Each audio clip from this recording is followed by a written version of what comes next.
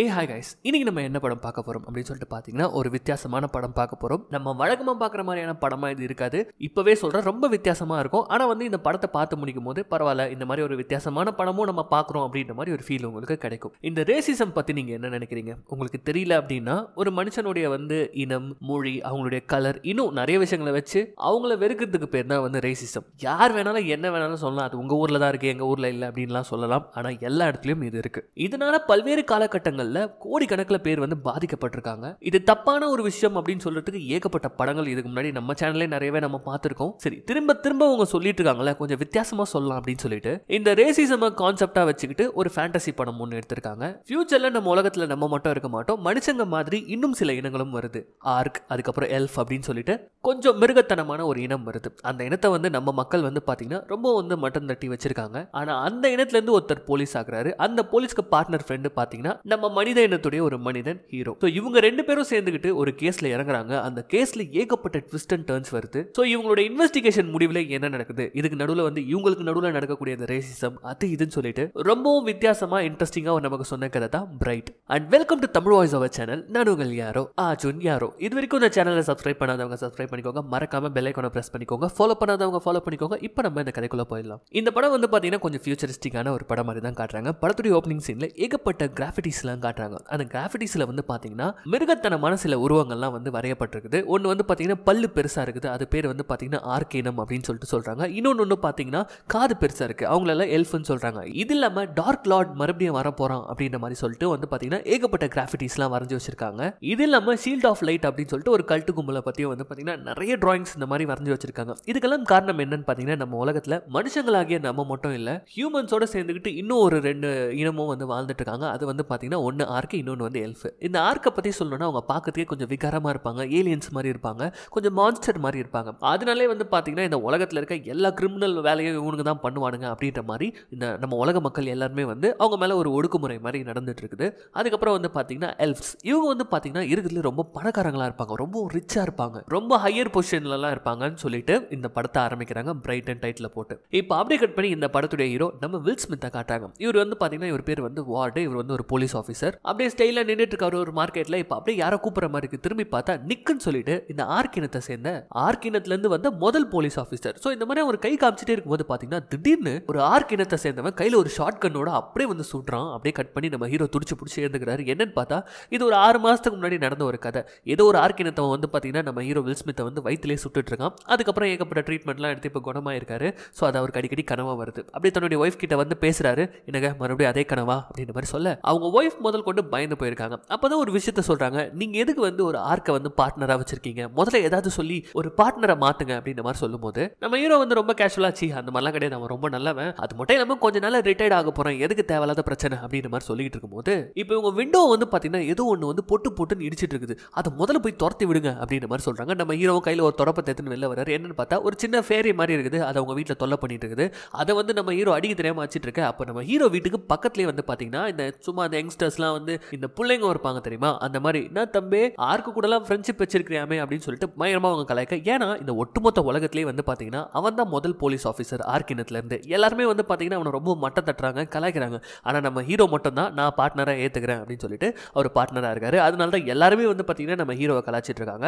இப்போ அப்படியே வந்து இப்போ உள்ளே போகிறாரு வீட்டுக்குள்ளே போறாரு. போனா இவங்க பொண்ணு சோஃபி அவன் என்ன சொல்கிறான்னா என்னப்பா அம்மா காலங்காத்தாலே புலம்ப ஆரம்பிச்சிட்டாங்க. உங்களுக்கு அந்த நிக்கல ப்ராப்ளம் வருமாப்பா? அவர் ஏதாவது உங்களை பண்ணுவாருப்பான்னும் போது சேச்சே அதுக்கெல்லாம் வாய்ப்பு இல்லைம்மா. ஏன் இப்படி சொல்றேன்னும் போது இல்லையே அவங்க பார்க்கறதுக்கே விகாரமா இருக்காங்க ஒரு மாதிரியா இருக்காங்கன்னும் போது இவர் ரொம்ப தெளிவா புரிய வைக்கிறாரு. இங்க பார் சோஃபி இந்த உலகத்துல எல்லாருமே சமம் தான். தங்களுடைய நிறத்தாலையும் அவங்களுடைய உருவத்தாலையும் அவங்கள நம்ம டிஃப்ரென்ஷியேட் பண்ணி பார்க்கக்கூடாது. சரியா? அப்படின்னு சொல்லிட்டு அப்படியே அட்வைஸ் பண்ணி வெளியில கூட்டு வந்தா அங்க பார்த்தா நேரா நிக்கு வந்து நின்றுட்டு இருக்கான். டே இங்க என்ன நடக்குதுன்னு தெரியாம நீ வேற இங்க வந்துட்டு. என்னடா? அப்படின்னு கேட்கும்போது பாஸ் உங்களை கூட்டு போல தான் வந்தேன் பாஸ் அப்படின்ற மாதிரி சொல்றாப்புல நிக்கு. நிக்க பத்தி சொல்லணும்னா ரொம்ப வெள்ளந்தியான ஒரு ஒரு மாதிரி அப்பாவி அவன். அவனுடைய நன்னடத்தை காரணமாக தான் வந்து பார்த்தீங்கன்னா அவங்களுக்கு வந்து சில பாலிடிக்ஸும் இருக்குது இவனுக்கு வேலை கொடுத்ததுக்கு இவனுக்கு வந்து போலீஸில் வேலை கொடுத்துருக்காங்க.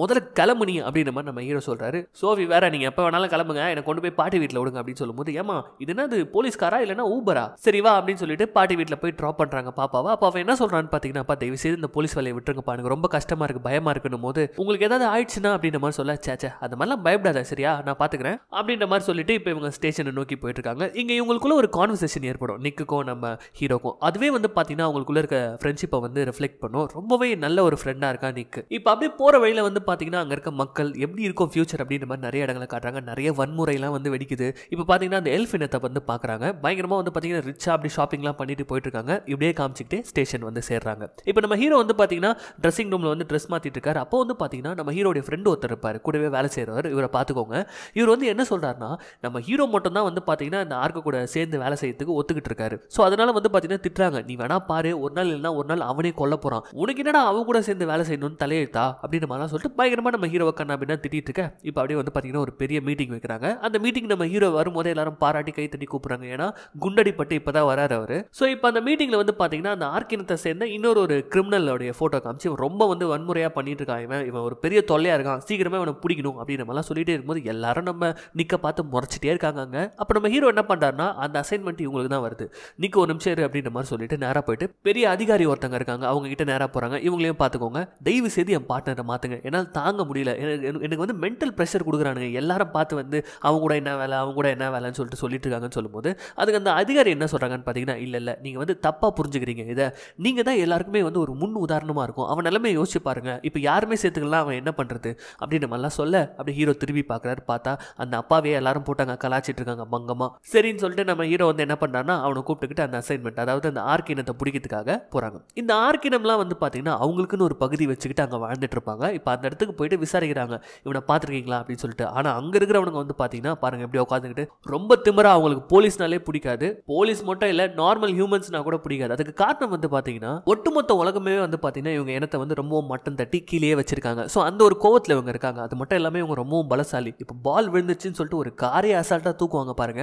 இந்த மாதிரி இவங்க பலசாலிகளாக இருக்குதுன்னா கூட இவங்களை வந்து கீழே வச்சிருக்கணும் அப்படின்னு சொல்லிட்டு ஒரு பெரிய பாலிடிக்ஸே நடந்துட்டு இருக்குது ஸோ இவங்களுக்கு ப்ராப்பரான ஆன்சர் கிடைக்கல அப்படியே கார் எடுத்துகிட்டு வந்துட்டு இருக்காங்க அப்போ வந்து பார்த்தீங்கன்னா ரோட்டில் ஒரு ஆர்க் ஃபேமிலியை போலீஸ் வந்து ரொம்ப அராஜகமாக அடித்து ரொம்ப துன்புறுத்திட்டு இருக்கிறத நம்ம நிற்கு பார்க்குறான் அவனுக்கு ரொம்ப கஷ்டமாக இருக்கு. அவங்க இடத்த இப்படி பண்ணுறாங்களே அப்படின்னு சொல்லிட்டு நம்ம ஹீரோ பார்க்குறாரு பார்த்துட்டே வந்து டக்குன்னு சடனாக வந்து வாக்கி டாக்கியில் பக்கத்து தெருல எவனோ ஒரு பைத்தியக்காரன் வந்து கத்தி வச்சுன்னு கத்தின்னு இருக்கான். போய் பிடிங்க அப்படின்ற மாதிரி சொல்லிட்டு வர இவங்க அங்கே நேராக போகிறாங்க அங்கே போனால் உண்மையிலேயே வந்து காட்டுவாசி மாதிரி இருக்கான். சட்டையெல்லாம் கழட்டி போட்டு கையில் கத்தியை வச்சுக்கிட்டு எல்லாருக்கிட்டே வந்து டேய் வாங்கடா எல்லாரும் சாக போறீங்கடா அப்படின்னு மாதிரிலாம் சொல்லிட்டே இருக்கும்போது அந்த இடத்துல நம்ம ஹீரோ இறங்கி கண்ணை வச்சுக்கிட்டு டேய் ஒழுங்காக வந்து இங்கே சரண்டர் ஆயிடு அப்படின்ற மாதிரி நம்ம போலீஸ் சொல்லும்போது அப்படியே ஸ்டன்னா நின்றுறான் நம்ம ஹீரோவை பார்க்குறான் அதுக்கப்புறம் நிக்க பார்க்குறான். ரெண்டு பேரையும் பார்த்துட்டு இவங்க தான் இந்த உலகத்தையே காப்பாற்ற போறவங்க. நீங்க தான் தம்பிங்களா இந்த உலகத்தையே காப்பாற்ற போறீங்க அப்படின்னு சொல்லிட்டு ஏனோ தானோன்னு உளறிட்டு இருக்கான். அப்படியே அவனை கழுத்தா மட்டில் வச்சு அரெஸ்ட் பண்ணி அங்கேருந்து கூட்டு போக இப்போ அவன் கார்ல பின்னாடி உட்காந்துட்டு இருக்கேன் நம்ம நிக்க பார்த்து அவங்களுடைய பாஷையில பேசுறான். அவங்க பாஷை வந்து ஆர்கேஷன் சொல்லுவாங்க. அதுல வந்து ஏதோ ஒன்று சொல்ல அதை கேட்குற நிக்கு வந்து பார்த்தீங்கன்னா லைட்டாக கொஞ்சம் மிரண்டு போறான். டேய் என்னடா பேசிட்டு இருக்க? அப்படின்ற மாதிரி சொல்லும்போது இவன் நார்மலாக பேசுறான். இங்க பாருங்க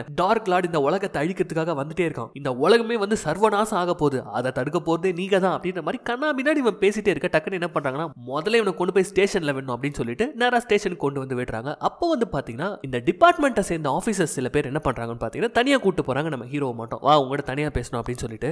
இவங்கெல்லாம் யாருன்னு பாத்தீங்கன்னா ஒரு ரெண்டு மூணு மாசத்துக்கு முன்னாடி நம்ம ஹீரோ சுட்டாங்க இல்லையா? ஸோ அந்த கேஸை வந்து இன்வெஸ்டிகேட் பண்றாங்க இவங்க. இவங்க என்ன சொல்றாங்கன்னு பாத்தீங்கன்னா நீ கூடவே ஃப்ரெண்டு ஃப்ரெண்டுன்னு சுத்திட்டு இருக்க பாரு. அவன் தான் எல்லாத்துக்குமே காரணம் அப்படின்னு சொல்லிட்டு அவன் மேல பழி போடுறாங்க. நம்ம ஹீரோக்கு வந்து எனக்கு அவனை பத்தி தெரியும். இப்போ என்ன சொல்ல வரீங்க அப்படின்னு கேட்கும்போது உன்னை சுட்டான் தெரியுமா ஒருத்தன்? அவனை துரத்திட்டு போனது இவன் தான் அவனை துரத்திட்டு போன இவன் என்ன வாக்குமூலம் கொடுத்துருக்கான் தெரியுமா? ஒரு ஏணி மேல ஏறி ஓடி தப்பிச்சிட்டான் அப்படின்னு சொல்லிட்டு எங்ககிட்ட இவன் சொல்லியிருக்கான். அந்த ஏணியை நாங்கள் செக் பண்ணி பார்த்துல ஒரு சாதாரண மனுஷனால எகிரி அதை பிடிக்க கூட முடியாது. அது அவ்வளோ ஹைட்ல இருக்குது. அவன் ஒரு ஆர்க்கினம்ன்றதுனால இவன் தான் வந்து பாத்தீங்கன்னா அவனை தப்பிக்கவே வச்சிருக்கான். இது தெரியாம நீ அவன் கூட சுத்திட்டு இருக்க அப்படின்னும் போது இப்போ நம்ம ஹீரோ என்ன சொல்றான்னா இல்ல அவன் அப்படிலாம் பண்ணியிருக்க மாட்டான் அப்படின்னு சொல்லும்போது அதெல்லாம் எங்களுக்கு தெரியாது. அவனை நாங்கள் வந்து பிடிச்சி கொடுக்கணும். அதுக்கு நீ என்ன பண்றனா உன் உடம்புல வந்து ரெக்கார்டரை வச்சுக்கிட்டு அவன் வாயாலே அதை நீ ஒத்துக்க வைக்கணும். அதுதான் உன் வேலை அப்படின்ற மாதிரி சொல்லும்போது நம்ம ஹீரோ ஃபர்ஸ்ட் ஒத்துக்க மாட்டாரு. இருந்தாலும் அந்த ரெக்கார்டரை கொடுங்கன்னு வாங்கி ஆரம்பிச்சுக்கிறாரு இவனுங்க ஏன் இப்படி பண்ணிட்டு இருக்காங்க அப்படின்னு பார்த்தீங்கன்னா அது எப்படி ஆர்கினத்துலேருந்து ஒருத்தன் வந்து மேலே போலீஸ் ஆகிட முடியும் அப்படின்ற மாதிரி சொல்லிட்டு அந்த கார்டில் தான் இவனுங்க பண்ணிட்டு இருக்கானுங்க இப்போ அந்த சீனை அப்படியே கட் பண்ணி இப்போ ஆஃபீஸ்க்கு வெளியில் தான் காட்டுறாங்க. அங்கே வந்து பார்த்தீங்கன்னா அந்த காது நீட்டமாக இருக்கக்கூடிய அந்த எல்ஃப் இனத்தை சேர்ந்த ஒருத்தர் இன்வெஸ்டிகேட்டர் அவர் வராரு. கூடவே இன்னொரு ஒரு ஆஃபீஸரும் வராங்க. இவங்க வந்து மேஜிக் டாஸ்க் ஃபோர்ஸ் அப்படின்னு சொல்லப்படுற ஒரு டிபார்ட்மெண்ட்டை சேர்ந்தவங்க. எதுக்கு வந்திருக்காங்கன்னு பார்த்தீங்கன்னா நம்ம ஹீரோ இப்போ தெரியுமா? ஒரு காட்டுவாசி மாதிரி ஒரு பைத்தியக்காரன். அவனை வந்து விசாரிக்கிறதுக்காக வந்திருக்காங்க. இப்போ உள்ள வந்த உடனே டே யார் ராணி கண்டதெல்லாம் ரோட்டில் நின்று உளறிட்டு இருக்க? அப்படின்ற மாதிரி சொல்லும்போது அமைதியாக இருக்கான். என்னன்னு பார்த்தீங்கன்னா இவர் வந்து சொல்லக்கூடாத சில உண்மைகள்லாம் ரகசியங்கள்லாம் வந்து ரோட்டில் நின்று பைத்தியகாரத்தனமாக பேசிட்டு இருந்திருக்காரு. மற்றவங்களுக்கு இது பைத்தியக்காரத்தனம். ஆனால் இவங்களுக்கு அந்த விஷயம்லாம் தெரியும் பொழுது ஒழுங்காக சொல்ல போறியா இல்லையா அப்படின்னு கேட்கும்போது ஒரு பைத்தியக்கார மாதிரி நடிச்சுனுங்கிறாரு இப்போ ஒரு அம்முக்கு அம்மிக்கு ஒரு பின்னந்தலையில வந்து பார்க்குறாங்க பாருங்க. ஒரு விதமான அடையாள சின்னம் வந்து பார்த்தீங்கன்னா பின்ன மண்டையில் வந்து பச்சை குத்தப்பட்டிருக்கு. ஷேடோ ஆஃப் லைட்ஸ்னு சொல்லப்படுறவங்க தான் இந்த மாதிரி பச்சையெல்லாம் குத்திருப்பாங்க. ஒழுங்கு மரியாதை உண்மையை சொல்லு நீ யாருன்னு தெரிஞ்சு போச்சு அப்படின்னு சொல்லும்போது இந்த எல்ஃப் இனத்தை சேர்ந்தவங்களாம் ஒன்று சேர்ந்துக்கிட்டு டார்க் லாட மறுபடியும் உயிரோட கொண்டு வரதுக்காக முயற்சிகளை பண்ணிட்டு இருக்காங்க அப்படின்னு சொல்லும்போது அப்போ அந்த இடத்துல ஒரு எல்ஃப் எல்ஃப் இருக்கார் இல்லையா? அவர் வந்து திருத்தம். அந்த கெட்ட கேங்ல இருக்க எல்ஃப்ஸ் அப்படின்ற மாதிரி சொல்றாரு. ஆமா இந்த எல்ஃப்ஸ்லேயே வந்து பாத்தீங்கன்னா எல்லாருமே நல்லவங்க தான். ஆனா ஒரு சில பேர் வந்து பாத்தீங்கன்னா கல்ட்டு மாதிரி வச்சுக்கிட்டு இந்த டார்க் லாடை கொண்டு வரதுக்காக பல விஷயங்கள் அவங்க பண்ணிட்டு இருக்காங்க. இப்போ அந்த டிடெக்டிவ் என்ன பண்றாருன்னு பாத்தீங்கன்னா ரெண்டு போட்டோவை காட்டுறாரு. ரெண்டுமே வந்து எல்ஃப்ஸ் தான். இது யாருன்னு தெரியுதா? அப்படின்ற மாதிரி சொல்லும்போது ஆ தெரியுது. இவங்க ரெண்டு பேரும் பிரைட்ஸ் அப்படின்ற மாதிரி சொல்றாங்க. பிரைட்ஸ்னா என்னன்னு பாத்தீங்கன்னா ஒரு மேஜிக்கல் பவர் ஒன்று இருக்குது. மேஜிக் வாண்டுன்னு சொல்றாங்க. அதாவது வந்து மந்திரக்கோள். அதை வந்து பாத்தீங்கன்னா சாதாரண மனுஷங்களால கையாள முடியாது. அது ரொம்ப பவர்ஃபுல்லா இருக்கும். அதை கையாளக்கூடிய ரெண்டு பேர் தான் இவங்க. இந்த மாதிரி மொத்தமா மூணு மந்திர கோள்களை கண்டுபிடிச்சிட்டாங்க அப்படின்னா இவங்க டார்க் லாட வந்து எழுப்பிடுவாங்க அப்படின்ற மாதிரி இவன் சொல்றான். ஃபர்ஸ்ட் ஒரு பொண்ணை காட்டுறாங்க. இவ பேர் லைலா. இவ ரொம்ப மோசமானவ. இவ இப்ப தேடிட்டு இருக்க அந்த மந்திர கோலை அடுத்த ஒரு பொண்ணை காட்டுறாங்க. இந்த பொண்ணு பேர் டிக்கா இவளும் வந்து ஒரு பிரைட் தான். ஆனா இப்போ வந்து பாத்தீங்கன்னா பழைய மாதிரி இல்ல. இவ கொஞ்சம் நல்லவளா மாறிட்டு இருக்கா. அதனால தான் அந்த கேங்ல இப்போ ஒரு பெரிய பிரச்சனை ஏற்பட்டிருக்குது. இவகிட்ட ஒரு மந்திர கோல் இருக்கு. அதை தான் அவங்க தேடிட்டு இருக்காங்க. அப்போ இந்த டிக்காவை யூஸ் பண்ணி அந்த மந்திர கோலை வந்து நம்ம கைப்பற்ற பார்க்கலாம் அப்படின்னு சொல்லிட்டு இந்த எல்ஃப் சொல்றாரு. இந்த அதிகாரி சொல்றாரு. அது ஒன்னே சிரிக்கிறான் அவன். உங்களுக்கெல்லாம் விளையாட்டா போச்சு இல்ல? இப்படிதான் ரெண்டாயிரம் வருஷத்துக்கு முன்னாடி டார்க் லார்டு வந்தான். எவ்வளவு சர்வநாசம் ஆச்சுன்னு தெரியுமா? அதே மாதிரி மறுபடியும் வரப்போறான். சீக்கிரமா அதை தடுக்கிறதுக்கு வழியை பாருங்க அப்படின்ற மாதிரி சொல்ல. இப்போ அப்படியே கட் பண்ணி நம்ம ஹீரோவையும் நிக்கியும் காட்டுறாங்க. நிக்கு வந்து என்ன சொல்லிட்டு இருக்காங்கன்னா நம்ம ஆஃபீஸ்ல என்னென்னவோ நடந்துட்டு இருக்குது. எனக்கு ஏதோ தப்பா தோணிட்டு இருக்குது. ஏதோ நடக்க போகுது அப்படின்ற மாதிரி சொல்லிட்டு சொல்லிட்டே இருக்கும்போது ஏன் அப்படி நினைக்கிற? அப்படின்ற மாதிரி ஹீரோ கேட்கிறாரு அப்ப கரெக்டா அந்த நேரம் பார்த்து வாக்கி டாக்கில வந்து பக்கத்துல இருக்கிற ஸ்ட்ரீட்ல வந்து ஏதோ ஒரு ப்ராப்ளமா இருக்குது. உடனே போய் பாருங்க அப்படின்ற மாதிரி சொல்ல அந்த இடத்துக்கு வந்து சேர்றாங்க நம்ம ஹீரோ நிக்கும். இது வந்து பாத்தீங்கன்னா ஒரு ஸ்லம் ஏரியா மாதிரி இந்த இடத்துல நிறைய கேங்ஸ்டருங்கலாம் இருப்பாங்க. இந்த இடத்துல என்ன பிரச்சனை அப்படின்னு சொல்லிட்டு வந்து இறங்குறாங்க. இறங்கின உடனே யாரோ ஒருத்தங்க கண்ணா பின்னான்னு சுட ஆரம்பிக்கிறாங்க. இவங்க அப்படியே வந்து ஒரு காருக்கு பின்னாடி ஒளிஞ்சிக்கிறாங்க. ஒளிஞ்சிக்கிட்டு இவங்களும் சுட ஆரம்பிக்கிறாங்க. அப்போ வந்து நம்ம ஆர்க் இனத்தை சேர்ந்த நிக் இருக்கான் இல்லையா? அவன் வந்து மோப்ப முடிக்க ஆரம்பிக்கிறான். ஏதோ ஒரு பெரிய தப்பு நடக்குது என்னால் ஃபீல் பண்ண முடியுது அப்படின்ற மாதிரி சொல்ல இவங்க அப்படியே உள்ள போறாங்க. அப்படியே உள்ள போய் பார்க்குறாங்க பார்த்தா ஒரு பாடி பாதி எரிஞ்ச நிலைமையில இருக்கு. பாதி எலும்பு கூடு அப்படியே எரிஞ்சு போய் கிடக்குது. ரொம்ப பயங்கரமா இருக்குது. எதை வச்சு இவங்க அட்டாக் பண்ணிருப்பாங்க அப்படின்னு சொல்லிட்டு அப்படியே கொஞ்சம் தூரம் தள்ளி வராங்க. அங்க வந்து பார்த்தா ஒருத்தன் இறந்து போய் கிடக்குறான். இவங்க சுட்டு போட்டவங்க தான். அவன் இறந்துட்டான் கம்ப்ளீட்டா அப்படியே இன்னும் கொஞ்சம் தூரம் தள்ளி போனா அப்படியே தீப்பிழம்புகளாக வந்து ஒருத்தன் இருக்கான். இப்பதான் எரிஞ்சிட்டு இருக்கான் போல இருக்கவன் என்ன ஒரு வெப்பனா இருக்கும் அப்படின்னு சொல்லிட்டு போய் பார்க்கறாங்க அப்படி போய் பார்க்கும்போது செவுத்துல ஒரு பொண்ணு பொம்மை மாதிரி அந்த பொண்ணுடைய பாதி உடல் இருக்குது. அப்படியே அதை சுத்தி ஒயர்ஸ்லாம் நிறைய போயிட்டு இருக்குது இவளும் கிட்டத்தட்ட ஒரு பிரைட் தான். இது நம்ம ஹீரோக்கு தெரியுது. அதனால டக்குன்னு என்ன பண்றாருன்னு பார்த்தீங்கன்னா இங்க நிறைய பிரைட்ஸ் இருக்க வாய்ப்புகள் இருக்கு. உடனே போலீஸ்க்கு கால் பண்ணி நம்ம டீமை பேக்கப் வர சொல்லு அப்படின்ற மாதிரி சொல்லிட்டு அப்படி தேடி போயிட்டு இருக்காங்க அப்படி தேடி போகும்போது திடீர்னு ஒரு பொண்ணு எகிரி குச்சி போவாளா. ரெண்டு பேரும் துரத்திக்கிட்டு போறாங்க கடைசியில் வெளியில வச்சு பிடிச்சிடுறாங்க. ஆனா அந்த பொண்ணு கையில அந்த மந்திரக்கோள் இருக்கும். அந்த மேஜிக்கல் மந்திரக்கோள்னு சொன்னாங்க தெரியுமா? அது இருக்கும். அதுல இருந்து ஒரு பவர் வந்து பக்கத்துல இருக்க கார் அடி அடிக்கும் பாருங்க. காரு தெரிச்சிடும். இப்போ ஒரு வழியாக அவங்க பிடிச்சிடுறாங்க. அதுக்கப்புறம் தான் செக் பண்ணி பார்க்குறாங்க. இவ யாருன்னு பார்த்தா அந்த டிக்கா டிக்கான்னு சொல்லிட்டு ஒரு பொண்ணு சொல்லிட்டு இருந்தாங்களே அந்த பொண்ணு தான். இப்போ இவ கையில் அந்த மந்திரக்கோள் இருக்கு. இப்போ ஒரு விஷயத்தை இவ சொல்ல வரா. தயவு செய்து நம்ம இங்கேருந்து கிளம்பி ஆகணும். இதை தேடிக்கிட்டு ஆள் வந்துட்டு இருக்காங்க. இது கெட்டவங்க கைக்கு போகாம நான் தடுத்தாகணும் அப்படின்ற மாதிரி அவள் பேசிட்டே இருக்கும்போது இவங்களுக்கு ஒன்றுமே புரியல. அவளை சமாதானப்படுத்த பாக்குறாங்க அவள் வந்து பார்த்தீங்கன்னா அந்த எல்ஸ் லாங்குவேஜ்ல தான் பேசுகிறா அது நம்ம ஹீரோக்கு தெரியாது. ஆனால் நிக்குக்கு நல்லாவே தெரியும். ஸோ அப்படி அவங்க பேசிட்டே இருக்கும்போது இப்போ அப்படியே கட் பண்ணி உள்ளுக்குள்ள பார்த்தீங்கன்னா இவங்க பேக்கப் டீம் வந்துச்சு. இவங்க ஃப்ரெண்ட்ஸு மெயினான பெரிய பெரிய ஆஃபீஸர்ஸ்லாம் வந்திருக்காங்க. எல்லாருடைய பார்வையும் வந்து பார்த்தீங்கன்னா அந்த மந்திரக்கோள் மேலே தான் இருக்குது. ஏதோ பார்க்காத பொருளை பார்த்த மாதிரி நம்ம ஹீரோ வந்து கடமை தான் முக்கியம் இருக்கு ஹலோ என்ன இப்படி பார்த்துட்டு இருக்கீங்க? அப்படின்ற மாதிரி கேட்கும்போது டேய் இது எவ்வளோ கோடி ரூபாய் விலை போகும் தெரியுமா? ஒன்று பண்ணலாமா? இது நம்மளே எடுத்துக்கலாமான்னு போது என்ன விளாட்றியா அதை உன்னால் கையில் கூட தொட முடியாது அப்படின்னு மாதிரி சொல்லும்போது டே அதுக்கெல்லாம் டெக்னிக் இருக்குடா அப்படின்னு சொல்லிட்டு ஒரு க்ளவுஸில் என்ன பண்ணுறாங்கன்னா எடுத்து பார்க்குறான். அப்படி கொஞ்ச நேரத்துக்கு மேலே அவனால் பிடிக்க முடியல. ரொம்ப ஹெவியாக இருக்கு. அதை தூக்கி மறைச்சு வச்சிட்டீங்க பாரு. நான் சொல்கிறது கேளு அப்படின்னு சொல்லிட்டு இப்போ எல்லாரும் அப்படியே ரவுண்டு கட்ட ஆரம்பிக்கிறாங்க நம்ம ஹீரோவை இது கொஞ்சம் நெஞ்சம் இல்லை ஏகப்பட்ட கோடி போகும். இதை நம்மளே எடுத்துக்கிட்டு வித்துடலாம். நம்ம அப்படியே செட்டில் ஆகலான்னும் போது இல்லை இதெல்லாம் தப்பா தெரியுது எனக்கு அப்படின்னு மாதிரி சொல்லும்போது என்ன சீஃப் இப்படி பேசிட்டு இருக்காங்க? நீங்களே பார்த்துட்டு இருக்கீங்கன்னு போது அங்கே சீஃப் தான் வந்து மெயின் தலையே.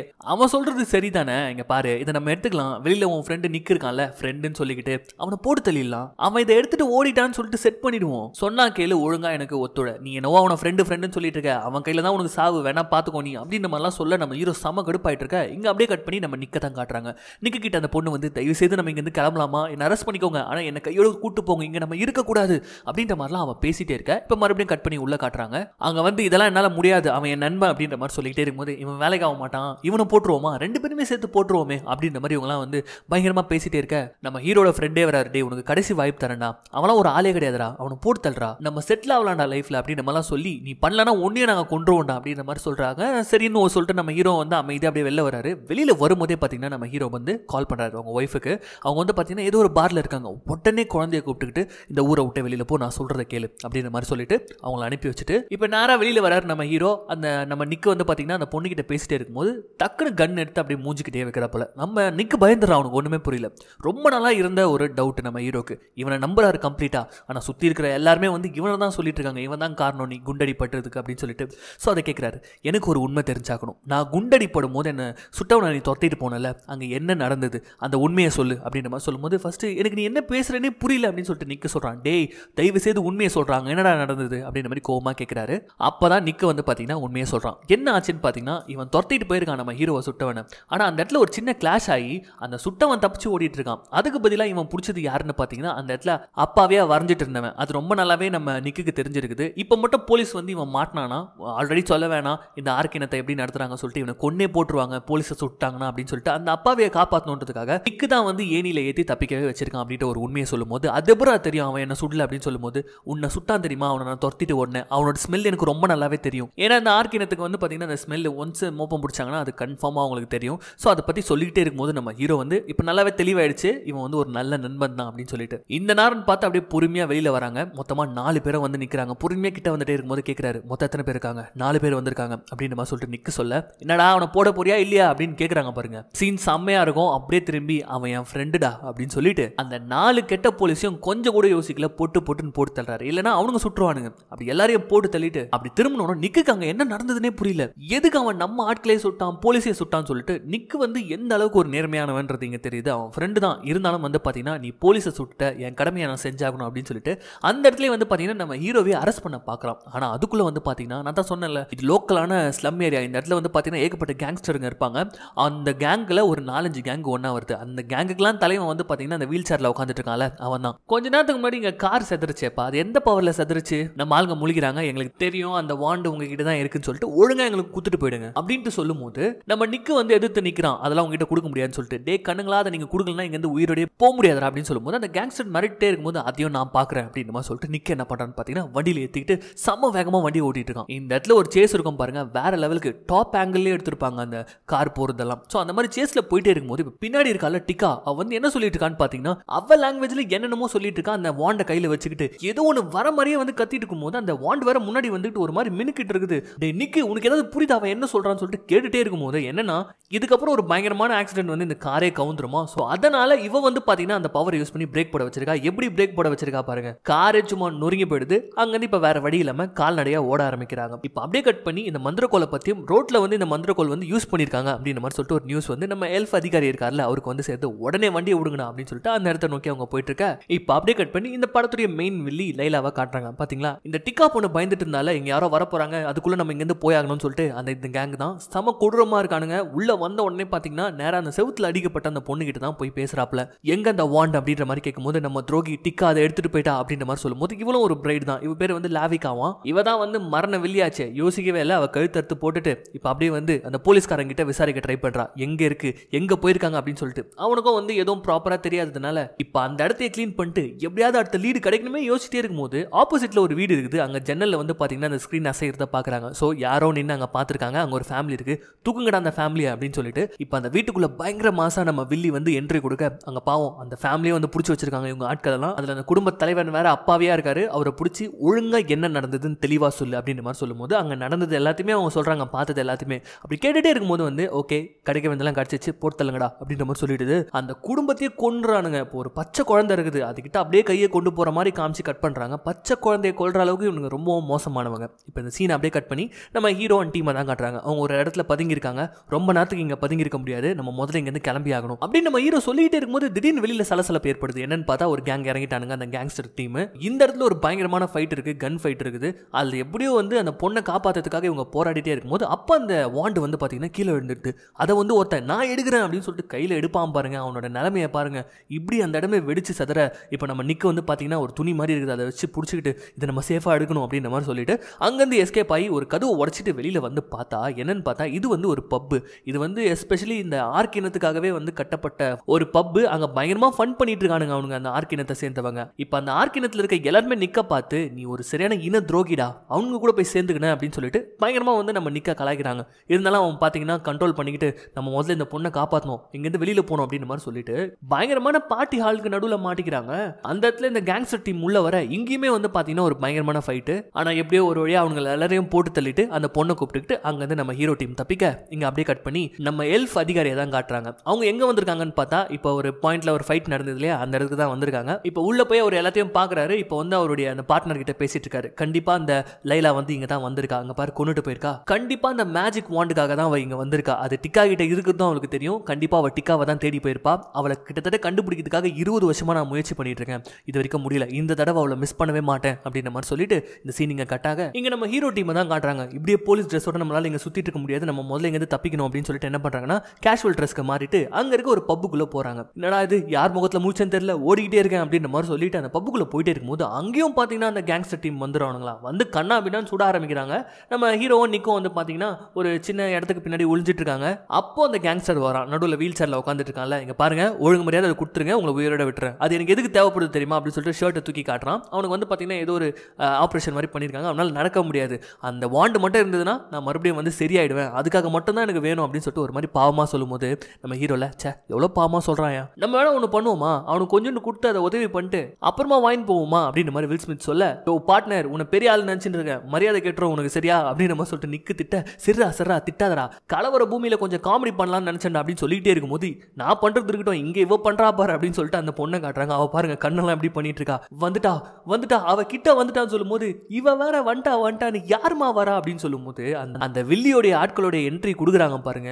வெல்த்து கட்டானுங்க செம்மையா ட்ரெயின்டு பொழுது அடிச்சு தூக்குறானுங்க. அங்க இருந்த கேங்ஸ்டர் எல்லாரையும் போட்டு தள்ளிட்டு அவங்க அங்க பிஸியா இருக்கும் போது அவங்க கண்ணில் மண்ணை தூவிட்டு நம்ம ஆட்கள் மூணு பேரும் அந்த பாரை விட்டு எஸ்கேப் ஆகி வெளியில வர இப்போ அப்படியே அவங்க தப்பிச்சிட்டாங்கன்னு சொல்லிட்டு அப்படியே வெறித்தனமா நின்றுட்டு இருக்காங்க பாருங்க இவங்க மூணு பேரும். இப்போ அப்படியே கட் பண்ணி ஹீரோ டீமை காட்டுறாங்க. அவங்க என்ன பண்றாங்கன்னா பக்கத்துல ஒரு சூப்பர் மார்க்கெட் இருக்கு. அதுக்குள்ள போயிட்டு தேவையான பொருட்களை எடுத்துட்டு அங்க ஒரு பேஸ்மெண்ட் மாதிரி இருக்குது. அங்கே வந்து கொஞ்சம் ரெஸ்ட் எடுத்துட்டு இருக்காங்க ரிலாக்ஸ் ஆகிட்டு இருக்காங்க அந்த பொண்ணு வேற செவுத்துல காதை வச்சு காதை வச்சு கேட்டுட்டு இருக்கா இப்போ இவங்க எதுக்கு இங்கே ஒதுங்கி இருக்காங்கன்னு பார்த்தீங்கன்னா பயங்கர காயங்கள் பட்டிருக்கு. ஸோ அதனால ஃபர்ஸ்ட் எய்ட் பண்ணிக்கலாம் அப்படின்னு சொல்லிட்டு அந்த மருந்தெல்லாம் போட்டு இருக்கும்போது அப்போ நம்ம ஹீரோ கேட்குறாரு எதுக்கு நீடா அந்த பையனை காப்பாத்தின? அந்த உண்மையை எதுக்கு நீ இத்தனை நாள் சொல்லாமல் என் கூடவே இருந்த? அப்படின்னு சொல்லும்போது அப்போ வந்து நிக்க என்ன சொல்கிறானா என்னப்பா பண்ணுறது எங்கள் எனத்தையே நீங்கள் வந்து ஒரு மாதிரி கிரிமினல்ஸ் மாதிரி தானே பார்க்குறீங்க நாங்கள் ஏதாவது நல்லது செய்யணும்னாலே வந்து இப்படி மறைச்சு தான் செய்ய வேண்டியதாக இருக்குது. அப்படின்னு சொல்லிட்டு அவன் மனசில் இருக்க வழிகள் அந்த ஒடுக்குமுறை இதை பற்றிலாம் சொல்லும்போது அப்போ நம்ம ஹீரோ சொல்கிறான் நீ வந்து ஒரு நல்ல போலீஸ்ரா அதை தாண்டி நீ ஒரு நல்ல ஹியூமன் சாரி ஒரு நல்ல ஆர்க்கு அப்படின்ட்டு பேசிக்கிட்டே நம்ம ஹீரோ வந்து பார்த்தீங்கன்னா என்ன பண்ணுறாருன்னா அப்படியே வெளியில் ட்ரெஸ் எல்லாம் போட்டுட்டு வெளில வந்து நின்றுட்டே இருக்கும்போது அப்போ அந்த இடத்துக்கு வந்து பார்த்தீங்கன்னா ஒரு போலீஸ்கார் வந்துடுறாரு. ஸோ வந்துட்டு இந்த பெட்ரோல் வண்டியோட வந்துட்டு மிரட்டுறாரு. பின்னாடி அந்த பொண்ணு நிற்கும் வர ஓடி வந்துறாங்க இவங்க கத்துறாங்க சார் சார் சுற்றாதீங்க. நாங்களும் போலீஸ் தான். நாங்கள் சொல்கிறது மட்டும் பண்ணுங்க. இங்கே பாருங்க. எங்க கிட்ட தான் இந்த மேஜிக் வாண்ட் இருக்கு அப்படின்னு சொல்லிட்டு காட்டுறாங்க. அந்த போலீஸ் பார்த்த உடனே இந்த மேஜிக் டாஸ்க் ஃபோர்ஸ் இருக்கு இல்லையா? அது கால் பண்ணி கொடுங்க. நான் உங்ககிட்ட பேசி ஆகணும் அப்படின்ற மாதிரி சொல்ல இவர் வந்து நம்ப மாட்டார் போலீஸ் இருந்தாலும் அந்த டாஸ்க் ஃபோர்ஸ்க்கு நம்ம எல்ஃப் அதிகாரி இருக்கார்ல அவருக்கு ஃபோன் போட்டு கொடுக்கும்போது சார் இந்த மாதிரி அந்த வாண்ட் எங்ககிட்ட தான் இருக்குது நாங்கள் தான் வந்து அதை கண்டுபிடிச்சி வச்சிருக்கோம். ஆனால் இங்கே ஒரு சின்ன பிரச்சனை என்னன்னா எங்களை பயங்கரமாக துரத்திட்டு இருக்காங்க. உங்ககிட்ட நாங்கள் இதை கொடுத்துட்றோம். எங்களை காப்பாத்துங்க. நான் வேற இந்த பேண்டுக்காக ஒரு நாலு பேரை போட்டு தள்ளிட்டேன். அதுல என்ன நீங்கள் ரிலீஸ் பண்ணோம் அப்படின்ற மாதிரி கேட்கும்போது அதெல்லாம் இருக்கட்டும். நீங்கள் முதல்ல எங்கே இருக்கீங்க? அப்படின்ற மாதிரி பேசிட்டே இருக்கும்போது கரெக்டாக உங்கள் லொக்கேஷன் சொல்லிட்டே இருக்கும்போது இதெல்லாம் வந்து பார்த்தீங்கன்னா ஹேக் பண்ணி பார்த்துட்டு இருக்காங்க வில்லன் டீம் ஒரு இடத்துல போயிட்டு சிக்னல் இருக்கிற இடத்துல ஒரே அடி அடிக்கிறாங்க. அது மூலியமா அவங்க பேசிட்டு இருந்த கனெக்ஷன் கட் ஆகுது. உடனே அந்த எல்ஃப் அதிகாரி சொல்றாரு இந்த லொகேஷனை ட்ராக் பண்ண ட்ரை பண்ணுங்க. அப்படின்ற மாதிரி அங்கே சொல்லிக்கிட்டே இருக்க. அவங்க ட்ராக் பண்ணிட்டு அங்கே கிளம்பிடுறானுங்க வில்லன் டீம் இந்த போலீஸ் பார்க்குறாரு இல்லை இல்லை உங்கள் மேலே சந்தேகமாக இருக்குது. நான் உங்களை அரெஸ்ட் பண்ணுறேன் எதுவாக இருந்தாலும் ஸ்டேஷனில் வச்சு பேசிக்கலாம் அப்படின்ற மாதிரி சொல்லிட்டு ஹேண்ட் கஃப் போட வரும்போது அப்போ டிக்கா என்ன பண்ணுறான்னு பார்த்தீங்கன்னா அந்த போலீஸ்கார அடிச்சு போட்டு ஒரு வழியாக அவங்கள காப்பாற்றி அப்படி உள்ளே கூட்டு வரா. உள்ளே வந்து அந்த ஹேண்ட் கஃபை கழட்டினா அடுத்த செகண்ட் ஒரு வண்டி வந்து ஒரு இடி இடிக்குமா. அவ்வளோதான் வில்லி டீம் வந்துடுச்சு. நம்ம நிக்கு வேற நல்லா மாட்டிக்கிட்டான். காரால இடிச்சு செவுத்தோட செவுத்தா வச்சு பிடிச்சிட்டு இருக்கும் போது அவ உள்ள இறங்கின வில்லி வந்து கண்ணா பின்னான்னு சுட்டுட்டு இருக்கா. நம்ம ஹீரோவா எவ்வளோ ட்ரை பண்றாரு. ஒரு சீன்ல கரெக்ட் கரெக்டாக ஹீரோவை குறி வச்சு சுடலான்னு போகும்போது அப்போ ஒரு டைவ் அடிப்பா பாருங்க நம்ம டிக்கா. அப்படி டைவ் அடிச்சு அந்த கன்னை புடுங்கி போடும்போது பச்சை துரோகி வந்துட்டியா? அப்படின்ற மாதிரி சொல்லும்போது எங்கடி அந்த வாண்டு அப்படின்ற மாதிரி கேட்கும்போது அது உங்க கையில இருந்ததுன்னா இந்த உலகத்தை நீங்க நாசம் பண்ணிடுவீங்க. முடிஞ்சா எடுத்துக்கோடி அப்படின்ற மாதிரி சொல்லிட்டு ஒரு பயங்கரமான ஒரு ஃபைட் போயிட்டே இருக்கும்போது நம்ம ஹீரோ வில் ஸ்மித் இருக்கார் இல்லையா? அந்த இடத்துல கரெக்டாக ஒரு சிலிண்டரை பார்க்குறாரு அதை சுட்டா அந்த இடத்துல ஒரு பெரிய பிளாஸ்டியை கிரியேட் பண்ணுறாரு அது மூலயமா பார்த்தீங்கன்னா அந்த கேப்லேயே இவங்க மூணு பேர் அங்கேருந்து தப்பிச்சு ஓடுறாங்க. முதுகு பத்திக்கிட்டு எரிஞ்சிட்டு இருக்குது வில்லிக்கு தண்ணி ஊற்றி அணைக்கிறாங்க. வெறுப்பாயிட்டா என்னடா இது? எங்கே துரத்துனாலே இவனுங்க ஓடிக்கிட்டே இருக்கானுங்க அப்படின்ற மாதிரி சொல்லிட்டு ஆனால் நம்ம டீமா தப்பிச்சு எங்கேயாவது ஓடிடணும் சேஃபாக ஓடிடணும்னு சொல்லிட்டு ஓடிட்டே இருக்கும்போது இப்போ ஒரு இடத்துல ஏகப்பட்ட பேர் வந்து சுத்து போகிறாங்க யாருன்னு பார்த்தா இந்த இடமே வந்து பார்த்தீங்கன்னா அந்த ஆர்க்குங்களில் கேங்ஸ்டர்ஸ் இருப்பாங்களே அந்த மாதிரியான ஒரு இடம். ஒரு பக்கம் போலீஸ் தோத்துது ஒரு பக்கம் வில்லி தோத்துறா ஒரு பக்கம் மனுஷனுங்க அந்த வாண்டுக்காக தோத்துறானுங்கன்னு பார்த்தா இந்த பக்கம் மறுபடியும் அந்த ஆர்க்குங்க வந்து பார்த்தீங்கன்னா அந்த வாண்டுக்காக மறுபடியும் சுத்து போடுறாங்க. நம்ம ஹீரோவா டென்ஷன் ஆயிராப்ல. என்னடா காலிலேருந்து இருந்து ஓட வச்சுனே இருக்கீங்க? என்ன வேணும் உங்களுக்கு நான் யார் தெரியுமா? நான் போலீஸ் ஒழுங்காக வழி விடுறீங்களா? இல்லை அவ்வளோதான் அப்படின்னு மாதிரி இவர் வந்து போலீஸ்ன்ற ஞாபகத்திலே பேசிகிட்டு இருக்காரு யூனிஃபார்ம் எதுவுமே கிடையாது. அவனுங்க போலீஸ்க்கே பயப்பட மாட்டாங்க. அவ்வளோதான் ஒரே அமுக அமுக்குறாங்க நம்ம ஹீரோவை அப்படியே தூக்குறாங்க. கட் பண்ணால் இவங்களுக்கெல்லாம் ஹெட்டர் டவுன் ஒருத்தர் இருப்பான் தெரியுமா? இருக்குதுலேயே அண்டர் டவுன் பயங்கரமான பெரிய டவுன் அவன் கிட்ட எடுத்துன்னு போயிட்டு ரெண்டு பேரை போடுறாங்க. இவன் வேறு யாருமே கிடையாது. ஃபஸ்ட்டு சீனில் வந்து இவன் ரொம்ப தொல்லையாக இருக்கான். இவன் அரெஸ்ட் பண்ணணும் அப்படின்னு சொல்லிட்டு சொல்லியிருப்பாங்க தெரியுமா? அந்த பெரிய டவுன் தான் இவன். இவனுக்கும் இப்போ வந்து பார்த்தீங்கன்னா அந்த வாண்டு வேணுமா? அது ஏன்னா இந்த ஆர்க் இனத்தையே வந்து மக்கள் எவ்வளோ இழிவாக நடத்துகிறாங்க எங்ககிட்ட மட்டும் அந்த வாண்டு கிடச்சிதுன்னு வச்சுக்கோங்களேன். நீங்கள் என் காலடியிலடா அப்படின்ற மாதிரி சொல்லிட்டு ஒழுங்காக எங்கே வச்சுருக்கீங்களோ சொல்லிடுங்க அப்படின்னு மாதிரி சொல்லிட்டு போட்டு சம்மடி வச்சிட்டு இருக்காங்க இவங்க சொல்கிற மாதிரி இல்லை.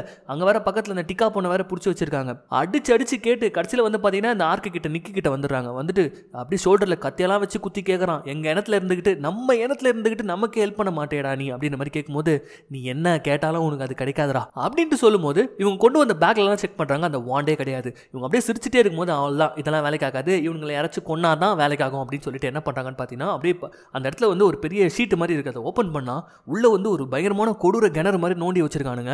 இப்போ நம்ம நிக்க பிடிச்சி முட்டி போட வச்சு இப்போ அந்த கேங்ஸ்டர் தன்னுடைய பையன்கிட்ட வந்து பார்த்தீங்கன்னா கன்னை கொடுத்து சுட்றா இவனை உன்னுடைய முதல் கொலை அப்படின்ற மாதிரி சொல்லிட்டு கொடுக்கும்போது இவன் அப்படியே கன் எடுத்துகிட்டு அப்படியே கிட்ட வரான் கிட்ட வந்து அப்படியே ஒரு மாதிரி பதற ஆரம்பிக்கிறான். இப்போ என்ன சொல்றானா இல்லை என்னால் இவரை சுட முடியாது அப்படின்னு சொல்லிட்டு சிவாஜி படத்தில் வர மாதிரி சொல்கிறான் ஏன்டா எதுக்குடா? அப்படின்னு சொல்லி கேட்கும்போது இங்கே தான் படத்தில் ஒரு ட்விஸ்ட்டு நம்ம நிக்க வந்து ஒரு பையனை காப்பாற்றி விட்டதா நம்ம ஹீரோ கிட்ட சொல்லியிருப்பான் தெரியுமா? அந்த பையன் வேற யாருமே இல்லை. இந்த கேங்ஸ்டருடைய பையன் தான் இவர் என் உயிரை காப்பாற்றினவர் இவர் உயிரை என்னால் எடுக்க முடியாது அப்படின்னு சொல்லும்போது தம்பி இங்கே வா அப்படின்னு சொல்லிட்டு கேங்ஸ்டர் கூப்பிட்றான். நீ வந்து கேங்ஸ்டராக இருக்கிறதுக்கு தகுதியே இல்லாதவன் இதுக்கப்புறம் இந்த பக்கமே வராத ஓடிடு அப்படின்ற மாதிரி சொல்லிட்டு அவனை அனுப்பிட்டு நீ சொல்லனா என்னடா நான் சுடுறேன் அப்படின்ற மாதிரி சொல்லிட்டு டமால் சுட்டுறான் அவ்வளோதான் நிக்க அப்படியே அந்த கிணத்துக்குள்ளே விழுந்து அப்படியே ஆழமாக போயிட்டே இருக்க. இதை பார்த்த டிக்காக்கு கோ வருது பாருங்க. எங்கேருந்து அதை வர வச்சாங்கன்னு தெரியல. அந்த மந்திரக்குள்ளே வர வச்சு ஃபுல் ஃபோர்ஸை உள்ளே அடிக்கிறாங்க பாருங்க. இப்போ கொஞ்ச நேரத்தில் அந்த இடமே வந்து பார்த்தீங்கன்னா பயங்கரமாக வந்து பிரகாசமாக ஆரம்பிக்குது. உள்ளேருந்து நம்ம நிக்க அப்படியே பறந்துக்கிட்டு வந்து நிற்கிறான் அவன் நெஞ்சில் புல்லட் இறங்குச்சு. ஆனால் அப்படியே பார்த்தீங்கன்னா உயிர் உயிரோட மீண்டும் வந்துட்டான். இதை பார்த்த உடனே அங்க இருக்கிறவங்க எல்லாருமே மிரண்டு போறாங்க. இன்னும் நாங்க ஒரு மரம் மாதிரி இருக்கு. அதுவும் வந்து பிரகாசிக்க ஆரம்பிச்சோன்னே எல்லாம் முட்டி போட்டுறாங்க. ஏன்னா செத்து போயிச்சவன் இவன். ஒரு கடவுள் மாதிரி ஒரு தீர்க்க தரிசி மாதிரி இவனை வந்து பார்க்கறாங்க. அந்த கேப்ல நம்ம டிக்காவை தூக்கிட்டு நம்ம ஹீரோ அங்கிருந்து தப்பிக்கிறாரு. இப்போ மூணு பேரும் ஒரு முட்டு சந்தில வந்து நிக்கிறாங்க. கேமா யாருமா நீ? உனக்கு என்னமா கதை உண்டு? அப்படின்ற மாதிரி இப்போ நம்ம ஹீரோ கேட்குறாரு அப்போ அவன் முகம்லாம் பாருங்க. அவள் அவ்வளோ பவர் யூஸ் பண்ணதுனால அவளுக்கு இப்படி கொஞ்சம் கொஞ்சமா இவ உடம்புல இருந்து பவர் போயிட்டு இருக்குது. இப்போதான் ஒரு ஃபிளாஷ் கட்டு சொல்ல ஆரம்பிக்கிறா. என்னன்னு பார்த்தா இன்ஃபினிட்டி அப்படின்னு சொல்லிட்டு ஒரு டீம் இருக்கு. அவங்க வந்து பார்த்தீங்கன்னா அவங்க தான் இந்த மேஜிக் வாண்டே வந்து பாதுகாக்கணுமா? அந்த டீம்ல தான் இவங்கலாம் இருந்தாங்களாம். ஆனால் வந்து பார்த்தீங்கன்னா இந்த லைட்லான்றவ டார்க் லாடை வந்து மறுபடியும் எங்கே கொண்டு வரதுக்கு இதை மாற்றலாம் அப்படின்னு சொல்லிட்டு கெட்டவளாக மாறுறா. ஸோ அவங்க கிட்ட தப்பிச்சு இந்த மந்திர கொலை எடுத்துக்கிட்டு இவ சுற்றிட்டு இருக்கும்போது அப்பதான் டிக்காவை கொலை பண்ணுறதுக்காக வேற ஒரு பொண்ணை அமுச்சு வச்சிருக்கா அந்த லைலா. ஆனால் டிக்கா கிட்ட தானே மந்திர கோல் இருக்கு. அதை யூஸ் பண்ணி தான் செவத்தோட செவுத்த அச்சு பொம்மை மாதிரி ஆகிட்டா போல இருக்குது. இதான் நடந்ததுன்னு சொல்லிக்கிட்டு அப்படியே பயங்கரமாக இரும்ப ஆரம்பிக்கிறா. அப்படி இருமும்போது ஏய் என்னாச்சு உனக்கு? உனக்கு என்ன பண்ணுது? அப்படின்ற மாதிரி கேட்கும்போது நான் கொஞ்சம் கொஞ்சமாக செத்துட்டு இருக்கேன். உடனே என் வீட்டுக்கு போனால் தான் என்னால் பழைக்க முடியும். என் வீட்டில் ஒரு மந்திர மந்திர தொட்டி இருக்குது. அதுக்கு மேல ஒரு மந்திர மரம் இருக்குது. அந்த இடத்துக்கு நான் போய் ஆகணும் அப்படின்னு சொல்லும்போது கார்ல தூக்கி போட்டுக்கிட்டு அங்க இருந்து கிளம்புறாங்க. அப்படி வண்டியில போகும்போது நம்ம ஹீரோ என்ன சொல்றான்னு பாத்தீங்கன்னா இங்க பாரு இவ்வளவு ஹாஸ்பிட்டல்ல சேர்த்தலாம் அதான் நல்லதுன்னு எனக்கு தோணுது அப்படின்னு சொல்லும்போது இப்ப நிக்க திரும்புறோம். இங்க பாரு இது வரைக்கும் நான் பேசினது எல்லாத்தையும் நீ சிரிப்பா தான் கேட்டிருக்க. அந்த பொண்ணு சொல்றதெல்லாம் உண்மை நினைக்கிறேன். நம்ம ரெண்டு பேர் சேர்ந்து தான் வந்து அந்த டார்க் லார்டோடைய பிறப்பை வந்து தடுக்கவே போறோம். அதுதான் எழுதப்பட்ட விதின்னு நினைக்கிறேன். ஸோ நான் சொல்றது கேளு. இவ்வளவு வீட்டுக்கு கொண்டு போகலாம் அப்படின்ற மாதிரி சொல்லிட்டே இருக்கும்போது சரி ஓகே அப்படின்னு சொல்லிட்டு இப்போ எந்த இடத்துல அந்த வீடு இருக்குன்னு பார்த்தீங்கன்னா முதல் சீனில் ஒரு பிளாஸ்ட் ஆகி அங்கே தானே அந்த பொண்ணியை கூட்டு வந்தாங்க. அதுதான் அவளுடைய வீடு போல இருக்குது உள்ளே போனால் ஏகப்பட்ட வெப்பன்ஸ் இருக்குது. இந்த பொண்ணு எல்லாத்துக்கும் ப்ரிப்பேர்டாக தான் இருந்திருக்கா போல இருக்குது அப்போ வந்து பார்த்தீங்கன்னா ஃபோனில் வெடிக்க வைக்கிற ஒரு பாம்பு ஒன்று இருக்குது அதோடைய ரிமோட்டை மட்டும் வந்து பார்த்தீங்கன்னா நம்ம ஹீரோ எடுத்து வச்சுக்கிறாரு. இப்படியே கொஞ்சம் கொஞ்சமாக உள்ளே போகும்போது திடீர்னு இந்த பொண்ணு முடியாமல் கத்துறா. அங்கே பாருங்க அந்த செவுத்த பாருங்க செவத்தை பாருங்கன்னு கத்திட்டு இருக்கான் என்னன்னு பார்த்தா எல்லாரும் இங்கே தான் ஒளிஞ்சிட்டு இருக்காங்க போல இருக்கு. உள்ளுக்குள்ளே அந்த லைலாவை காட்டுறாங்க. இவ இங்கே தான் வந்தாகணும்னு சொல்லிட்டு அந்த மேஜிக் நீர் ஊத்து இருக்கும் தெரியுமா? அதில் வந்து பார்த்தீங்கன்னா இந்த லைலா உட்காந்துக்கிட்டு மந்திரம்லாம் போட்டுட்டு இருக்கா அந்த மரத்துக்கு அடியில் இப்போ நம்ம டிக்கா சொன்னதை கேட்டோன்னு பார்த்தீங்கன்னா செவுத்த உடச்சிக்கிட்டு ஒருத்தன் வரான் பறந்துக்கிட்டு ஒருத்தி வரா ரெண்டு பேரும் போட்டு பொழந்து எடுத்துட்டு இருக்காங்க. ஒரு மிகப்பெரிய ஃபைட்டே போயிட்டு இருக்குது அப்ப நம்ம ஹீரோ என்ன பண்றாருன்னா அந்த மொட்டையை செவுத்தோட செவுத்தா வச்சு ஒரு கத்தியை வச்சு சொருவிடுறாரு. நம்ம நிக்க என்ன பண்றான்னு பாத்தீங்கன்னா ஒரு லேடி இருக்கால பறந்து பறந்து அடிச்சிருந்தால அவ காலில் ஏதோ ரோப் மாதிரி மாட்டி பிடிச்சி தள்ளி விடுறா பாருங்க. தலையில தொங்கிட்டு இருக்கா அவ. கத்துறாரு மச்சான் அவ உடம்புல அந்த பாம்பை சொருவிட்டேன். அப்படின்ற மாதிரி சொல்லும் போது நம்ம ஹீரோ அந்த போன் எடுத்து டைல் பண்றாரு பாருங்க. அவ்வளவுதான். அவங்க வெடிச்சு சதற. நீ தண்ணியில எடுத்துன்னு போயிட்டு இவ்வளவு போடலாம்னு சொல்லிட்டு அந்த ரூம்குள்ள போனா நெஞ்சு மேலேயே ஒண்ணு வைக்கிற அந்த வில்லி. அவர் ரெண்டு பேரையும் பறந்து பறந்து அடிக்க டக்குன்னு என்ன பண்றாரு பாத்தீங்கன்னா நம்ம ஹீரோ ஒரு ஃப்ரிட்ஜை திறந்து அதை டமால்னு மூஞ்சிலே அடிச்சு பிடிச்சிக்கிறாரு அப்படியே சுடுடா சுடு சொன்னா கீழே சுற்று அப்படின்ற மாதிரி சொல்லும் போது நம்ம நிக்கக்கு வந்து இதுக்கு முன்னாடி சுட்டு பழக்கம் இல்லை. சுட்டு பழக்கம் இல்லைன்னு சொல்றதை விட யாரையும் ஹர்ட் பண்ணி பழக்கம் இல்லை. டக்குன்னு என்ன பண்றான்னு பாத்தீங்கன்னா அவன் கேட்டு சுட்டுறான் அவ்வளவுதான். அப்படியே நெஞ்சில புல்லட் இறங்கி அப்படியே அவ பொறுமையா சரிஞ்சு விட இங்க வந்து முதல்ல இவ வந்து அவள் தான் ஃபுல்லாவே ட்ரைன் ஆயிட்டா. சீக்கிரமா இவளை தண்ணியில போடணும் அப்படின்னு சொல்லிட்டு அவளை கொண்டு போயிட்டு இருக்காங்க. அப்படியே பொறுமையா நம்ம ஹீரோ தண்ணிக்குள்ள கொண்டு போறாரு. கொண்டு போயிட்டு ஏந்திரு ஏந்திருன்னு சொல்லிட்டு இருக்காரு. ஆஹா அவளுக்கு சுத்தமா பவரே இல்லை. அப்ப அப்படியே இந்த வெள்ளியை காட்டுறாங்க. அவளுடைய காயங்கள்லாம் அப்படியே சரியாகுது. இங்க இந்த பொண்ணு உயிரோட வந்துருவான்னு பார்த்தா அவள் தான் சுத்தமா பவர் இல்லை அவள் காலி அவளுடைய அசைவே கிடையாது. அப்படியே சோகமாக உட்காந்துட்டு இருக்க அந்த ஆர்க்கு அதாவது நம்ம நிக் அப்படியே சோகமாக உட்காந்துட்டு இருக்கும்போது அப்போ பின்னாடி வந்து கழுத்தில் ஒரு சுருக்க போட்டு அப்படியே தூக்கி அடிச்சிருது. அவன் தூக்கில் தொங்கிட்டு இருக்கான். இப்போ நின்றுக்கிட்டு ஏதோ ஒரு மேஜிக் மாதிரி பண்ணுறா பாருங்க.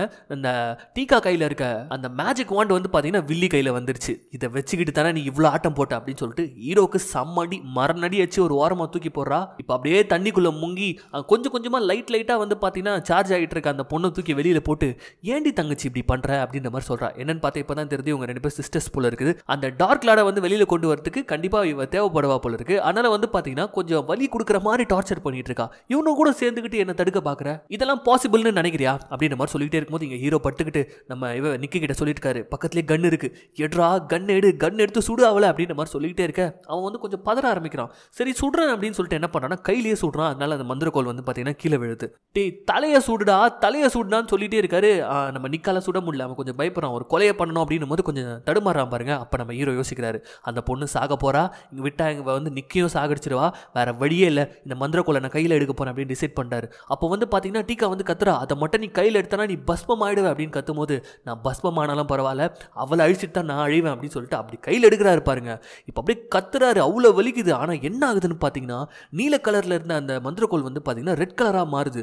இதை பார்த்தோன்னா அப்படியே அந்த லைல பயப்பட ஆரம்பிக்கிறா. ஏன்னா உண்மையிலேயே வரலாற்றில் சொல்லப்பட்ட ஒரு தீர்க்க தரிசியால் மட்டும் மட்டும்தான் அதை எடுக்க முடியும். அப்படி எடுக்கும் போது அது இந்த மாதிரி பவர்ஃபுல்லாக மாறும் அப்படின்னு சொல்லிட்டு. ஸோ நம்ம ஹீரோ தொட்டோன்னா அந்த மாதிரி மாறுது. ஒரு அடி அடிக்கிறாரு இருப்பாருங்க அந்த இடத்துல அவ்வளோதான் தெரிச்சு வெடிச்சு சாம்பலோட சாம்பலாக மாறுறா இப்போ வெளியில் அந்த நெருப்பு பிழம்பு அந்த சிட்டியில் அடிக்குது பாருங்க. அதை பார்த்து நம்ம எல்ஃபோடைய அதிகாரி இருக்கார்ல அவரு மிரண்டு போயிடுறாரு. இப்போ அந்த இடத்துல தான் காட்டுறாங்க. ஹீரோ கையில் இருந்து அந்த மந்திர கோலம் எங்கே போச்சுன்னே தெரியல. கீழே விழுந்துச்சு போல இருக்குது. போய் அந்த பொண்ணை தேடி பார்க்கலான்னு பார்த்தா அந்த டீக்கா பொண்ணு காணும். அந்த இடமே வந்து கொழுந்து விட்டு எரிஞ்சிட்டு இருக்குது. முதல்ல நம்ம இங்கேருந்து தப்பிக்கலாம் அப்படின்ற மாதிரி சொல்லிட்டு ரெண்டு பேரும் வெளியில் வராங்க. பார்த்தா போலீஸ் ஃபோர்ஸ் வந்து சுற்றிட்டு இருக்குது. அந்த இடத்துல ஃபுல்லாகவே வந்து இந்த ஆர்க்குங்களோட ஏரியா தானே? ஃபுல்லாக நின்று வேடிக்கை பார்த்துட்டு இருக்காங்க. அப்போ ஃபஸ்ட்டு வெளியில் வருது வந்து பார்த்தீங்கன்னா நிக்கு. திரும்பி பார்த்தா ஃப்ரெண்டை காணும். நண்பா நண்பான்னு கத்த எல்லாரும் வந்து பிடிச்சிக்கிறாங்க. உள்ளே விட மாட்டுறாங்க ஆனால் எல்லாரையும் தள்ளி விட்டு நான் செத்தாலாம் பரவாயில்ல. என் நண்பனுக்காக நான் சாவேன் அப்படின்னு சொல்லிட்டு நேராக உள்ளே போய் பார்த்தா நம்ம ஹீரோ மாட்டிட்டு இருக்காரு. அப்படியே அவரை காப்பாற்றி அப்படியே கைத்தாங்களா அப்படி வெளில கூட்டு வரும்போது ஒட்டுமொத்த சிட்டியும் இந்த காட்சியை பார்க்குது. ஒரு ஆர்க் வந்து பார்த்தீங்கன்னா ஒரு மனுஷனை காப்பாற்றுற இந்த சீனை பார்த்துட்டு அங்கே ஆர்க்கெலாம் நின்றுட்டு இருப்பாங்களா அப்படியே கூஸ் பம்ஸாக இருக்கும் இந்த சீனு நம்ம தலைவன் நிற்க பார்த்து நீ வேற ரகம்டா அப்படின்ற மாதிரி சொல்லிட்டு அவங்க கையெல்லாம் கட் பண்ணி நீ ஒரு ஹீரோடா நீ ஒரு இன்ஸ்பிரேஷன்டா அப்படின்ற மாதிரி அவங்களாம் வந்து ஒரு வணக்கத்தை வைக்க இந்த பக்கம் நிறைய பீப்புள் வந்து பார்த்துட்டு என்னது இது? ஒரு ஆர்க் வந்து ஒரு மனுஷனை உயிரை கொடுத்து காப்பாத்திருக்கு அப்படின்னு சொல்லிட்டு அதுக்கப்புறம் வந்து பார்த்தீங்கன்னா அது ஒரு பெரிய ரெவல்யூஷனாக மாறுது.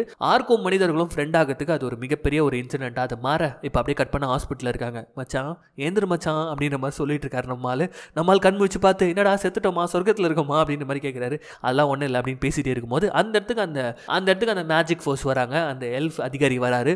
வந்துட்டு எவ்வளோ பெரிய விஷயம் பண்ணியிருக்க தெரியுமா நீ? அப்படின்ற மாதிரி சொல்கிறாரு சரி ஓகே அந்த பொண்ணுக்கு என்னாச்சு? டீக்காக்கு அப்படின்ற மாதிரி கேட்குறாரு டீக்காலாம் காணும். அங்கே மந்திர கோலம் மட்டும் நாங்கள் ரொம்ப சேஃபாக வந்து பாதுகாத்து வச்சிருக்கோம் அப்படின்ற மாதிரி சொல்லிட்டு ஒரு சீனை காட்டுறாங்க. சரி ஓகே மிகப்பெரிய விஷயம் பண்ணியிருக்கீங்க. உங்களுக்கு கண்டிப்பாக அதுக்கு வந்து தக்க சன்மானம் தரணும் அப்படின்னு சொல்லிட்டு எல்லா மக்கள் முன்னிலையிலும் வந்து பார்த்தீங்கன்னா நம்ம ஹீரோக்கு வந்து மெடல்லாம் தராங்க. கூடவே வந்து பார்த்தீங்கன்னா இதுக்கு எல்லாமே காரணம் வந்து அந்த ஆர்க் தான். ஸோ அப்படின்னு சொல்லிட்டு அவனுக்கு ஒரு மிகப்பெரிய மரியாதை பண்ணி ஒரு மெடலை கொடுக்குறாங்க. அந்த இடத்துல வந்து பார்த்தீங்கன்னா ஏதோ ஒரு கும்பலோட கும்பலாக நம்ம ஹீரோ நோட்டீஸ் பண்ணுறாரு அந்த இடத்துல அந்த டீக்கா நடந்து போகிற மாதிரி இருக்குது ஸோ அங்கேருந்து அவள் தப்பிச்சிட்டா போல இருக்குது. ஸோ ஒன்றும் உயிரோட தான் இருக்காரு அப்படின்றது ஹீரோக்கும் தெரிய வர. இப்படியே இந்த படமும் முடியுது. எப்படி இருந்தது இந்த படம்? வித்தியாசமாக இருந்ததா? அப்பப்போ கண்டிப்பாக நான் இந்த மாதிரி படங்களை சொல்லிக்கிட்டே தான் இருப்பேன். So once again this is Tamil voice over channel நான் உங்கள் யாரோ? அர்ஜுன் யாரோ? இது வரைக்கும் இந்த சேனலை சப்ஸ்கிரைப் பண்ணாதவங்க சப்ஸ்கிரைப் பண்ணிக்கோங்க. மறக்காமல் பெல் ப்ரெஸ் பண்ணிக்கோங்க. ஃபாலோ பண்ணாதவங்க ஃபாலோ பண்ணிக்கோங்க. மீண்டும் நாளைக்கு சந்திக்கலாம்.